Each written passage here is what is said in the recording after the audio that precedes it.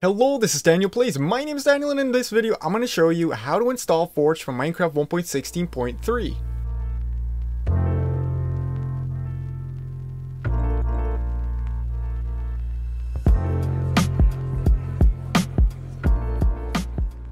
That's right, in this video I'm going to show you how to download and install Forge from Minecraft 1.16.3. Now before we get started, if you're into videos like these, Minecraft tutorials, uh, videos about shaders, mods, texture packs, then of course be sure to hit that big red subscribe button, I would sincerely appreciate that. And without further ado, let me show you how to install Forge from Minecraft 1.16.3. So installing Forge itself isn't even all that difficult unless of course you run into problems, so we're also going to go over common problems that people run into during the installation of Forge. Now to get started, you want to open up your browser, and um, I actually put all of the links that I use in this video down in the description, so don't worry about it. If you can't find anything, it'll be down there somewhere in the description. So to get started, of course, we need Forge itself. So you can actually just Google Forge or use the link in the description. And um, if you Google it, just go with the Minecraft Forge one. Now, obviously, we end up on this page where it says Minecraft 1.15.2, because that is actually the only version that has a recommended release. But what you want to do, if you want to download it for Minecraft 1.16.3, is go over to this left menu right here, click 1.16, and then select 1.16.3. As you can see, it only says latest and not recommended, but that's okay. So what you're going to want to do is actually click installer, which is this one with a little box right here. Just click that. We'll be redirected to an ad page right here, and then we have to wait 5 seconds and then we can click skip. So just clicking skip here will actually result in the file being downloaded. Now um, Chrome will usually give you a warning with .jar files. Just click keep if you actually downloaded it from the links that I provided you with in the description. Now for most people this is actually fairly simple, they can just click this installer and it will open up a, um, a little installer for Minecraft 1.16.3 Forge. All you've got to do is click OK, but we're not going to do that just yet because for some people it doesn't work that way. So for me it has this little Java icon with a little coffee cup, but for some people it does not. In that case, what you're going to want to do is use the link in the description or look for JarFix, which is a program that fixes this. Go over to this link, this website right here, and it's kind of hard to find, but over here it says jarfix.exe. You're going to want to click that. It's going to download a program and you just want to execute that just like that. Just click it. You'll be prompted with a UAC prompt. Just click yes. And it's going to say that the .jar suffix has been fixed.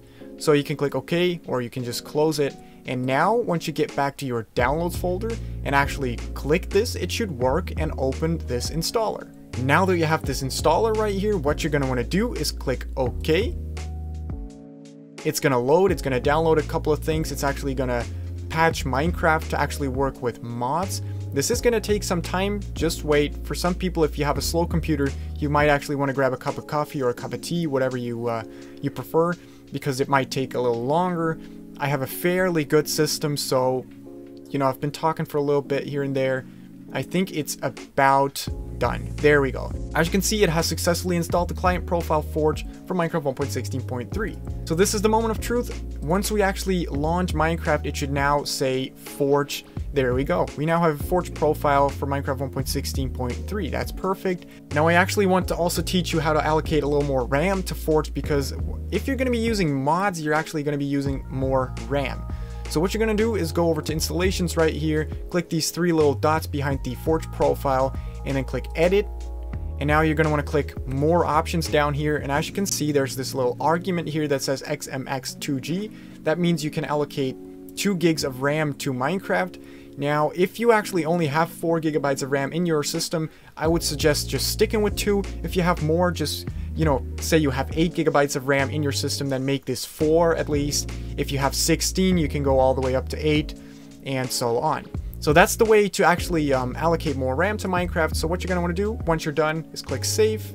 And now the next time you actually launch Minecraft with Forge for Minecraft 1.16.3, you're going to have both mods for Minecraft 1.16.3 and it's going to have a little more RAM to work with. So I'm actually going to be launching the game just to show you that it has actually worked and that we have successfully installed Forge from Minecraft 1.16.3. So as you can tell by the warning at the top here, we have actually successfully installed Forge from Minecraft 1.16.3. We actually have a mods button right here where it says Minecraft 1.16.3 and Forge version, well, 34 something. That's not really important. The important thing is once um, actual mods are going to be released from Minecraft 1.16.3, you're good to go. You can just put them in your mods folder and um, you'll be good to go and actually play Minecraft with mods.